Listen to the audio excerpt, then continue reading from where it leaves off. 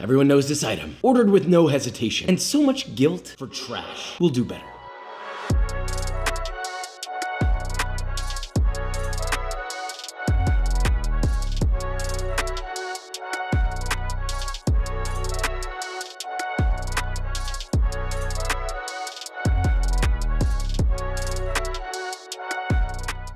So today we're making the Pizza Hut cinnamon sticks. This could also be, I guess, an implication to make the Domino's ones too. Out Pizza the Hut and Domino. Out uh, board game the Domino. So if you don't have a Pizza Hut near you and you don't know what this is, it's essentially cinnamon roll in the form of a stick, and they just use leftover pizza dough. Make the margins real good. The thing is, is like any bread with sugar, in their case, fake butter, is probably gonna be okay-ish. As a human being, you, you see bread and you're like, I have nothing else I want to add to that. So with all that being said, let's make this, shall we?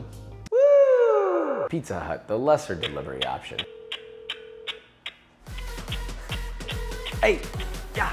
This is just someone just farting in it over and over. Thanks for Pizza Hut. My name is. Uh, can I just get two orders of the cinnamon sticks?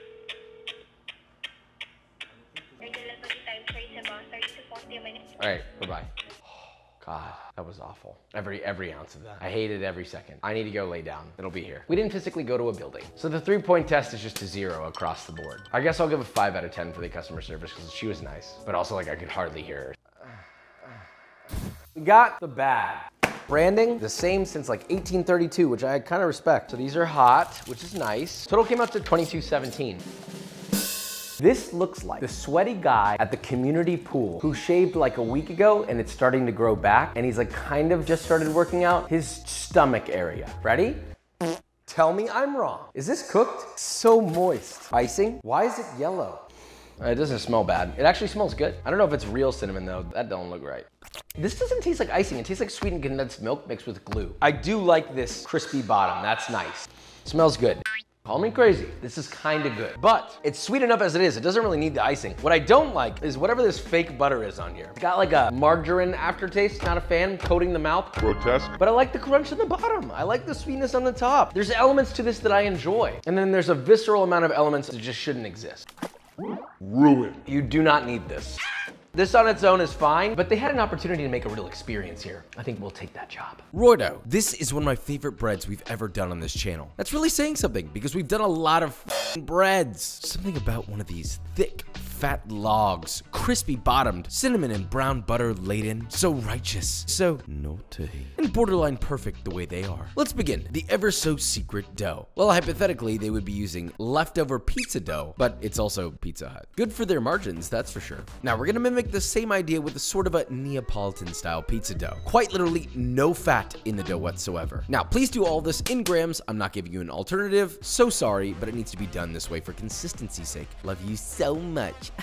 In a large bowl, add 800 grams of double O tipo flour and 16 grams of fine sea salt. Mix together till combined. Separately, you'll need 512 grams of water, around 95 Fahrenheit, whisk in 8 grams of instant yeast. And look at this, we doubled what's traditional for the yeast here in a proper Neapolitan dough. And we did it for that soft pillow goodness.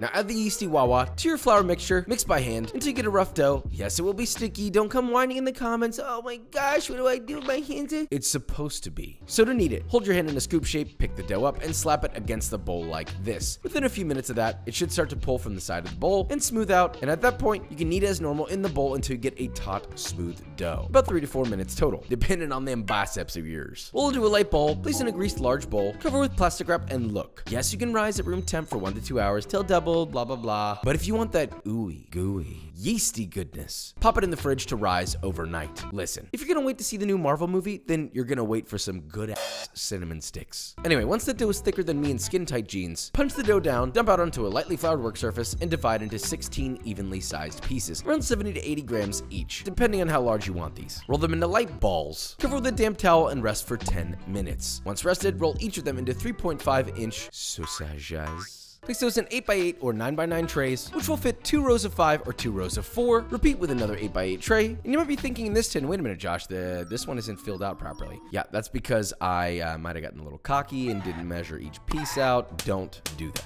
Anyway, cover with plastic wrap and proof for 30 minutes at room temp. And when you start that proof, I'd recommend preheating your oven to 425 Fahrenheit. Then once it's big time, get yourself a quarter cup or 62 grams of melted clarified butter, also known as ghee. Do not use regular butter. You can make your own clarified butter yourself, or you can buy it from the store. Now, brush half your melted clarified butter on one sheet of sticks, and then the other half on the other sheet of sticks. Yes, use all of it. I want this thing sinking into the tight, moist crevices of your thick sticks. Make it naughty. Now pop those into your preheated oven and bake for 18 to 20 minutes. And while that's baking, we prepare everything else. First off, cinnamon sugar, basic. Small bowl, three quarters of a cup or 167 grams of granulated sugar, one and a half tablespoons or five grams of ground cinnamon, and optionally a generous pinch of fresh grated nutmeg. Whisk until thoroughly combined, and just like all of my other recipes that have cinnamon sugar, this makes more than you need for the recipe. I will say nothing else other than you're welcome. Now obviously their cinnamon sticks are brushed with butter, boring. What if we made brown butter? Still boring. What is this, 2012? What if we smoked the butt? Now I can feel my culinary ego coursing through my veins. In a medium sized pot, add half a cup or 112 grams of salted, not unsalted. This is what makes this butter fun. Set that over medium heat and let that melt and cook, swirling the pan often. And you'll start to notice those milk solids in the bottom starting to toast, look a little darker, a little darker, and you're gonna let that keep going until it reaches a relatively deep brown color. Not quite mahogany, but close to it. Now pour that out into a bowl, set over an ice bath, and continuously stir just until it's fully chilled and into more of a softened butter state. Get yourself a large heat-proof container, something like a full or even a half hotel pan works. You could also use a large deep baking pan. Place your bowl of butter in there, form sort of a three-inch wide bowl shaped out of foil, something I'm sure some of you juvenile delinquents may find familiar. Shame on you. Now, if you want to smoke this, the easiest way is with this special compressed wood, which is super easy to get, and there's a link in the description to find the one that I use. Now, get a couple half-inch chunks of it, place in your foil bowl, blast that with a kitchen torch until fully charred and beginning to smoke, lightly blow on it, drop with the lid, and allow to smoke for 15 minutes. Remove the and optionally you can repeat that one more time if you want it super smoky, and that's it. Now, before you say anything, this hilariously does not make my smoke alarm go off. I don't know why. Opening the oven while literally cooking? Yeah, yeah, alarm time. So fun, haha. literally smoking something indoors.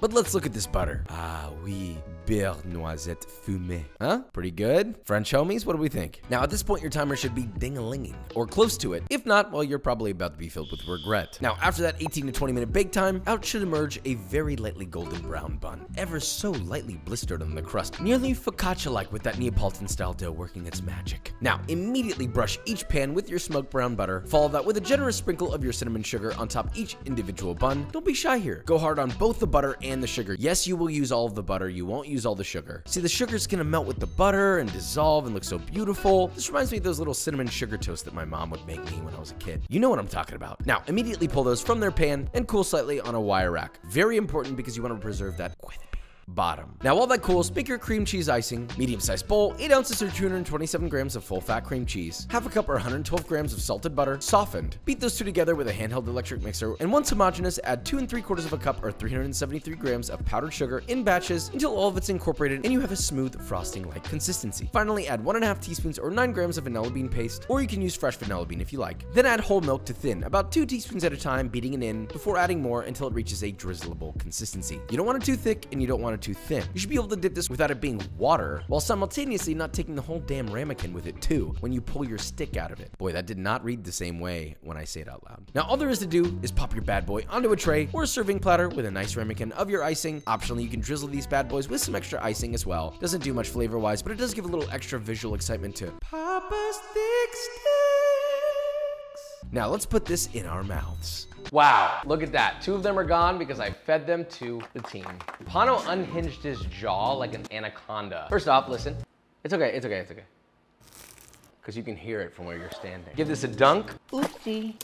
This is like a two-year-old playing basketball against LeBron James. I guess I'll describe the flavor, although it doesn't matter. Just make it. The texture of this dough is like a luscious cloud mattress that you fall into and you're just endlessly falling into comfort and joy and happiness. So the butter, don't skip a single technique. The smokiness, the brown butter, it's like every flavor working together into a beautiful harmony. So we won, but we need to taste test. Kendrick's coming in today. Yeah, Kendrick!